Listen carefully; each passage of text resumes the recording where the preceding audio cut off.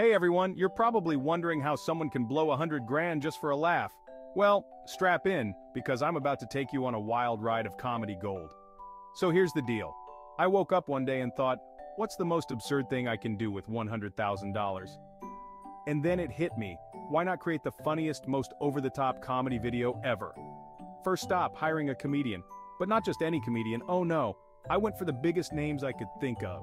Imagine walking into a comedy club and saying, I'll take one of your finest funny people, please. Next, props. Have you ever seen a rubber chicken in a tiny sports car? Well, I bought 10.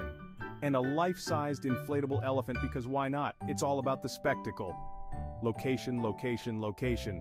I rented out an entire theater. Yes, an entire theater just for my comedy extravaganza. The red curtains, the spotlight, even a live audience made of cardboard cutouts, because real people are so pre-pandemic. Now the script. I hired a team of writers to come up with the most hilarious lines ever. We're talking knee slappers, gut busters, the kind of jokes that make you snort laugh. And then, the day of the shoot. Directors, camera crews, a guy whose whole job was just to throw pies. Yes, real creamy pies flying left and right. The set was chaos, a beautiful, hilarious chaos. You might think, that's all well and good, but was it funny? Let me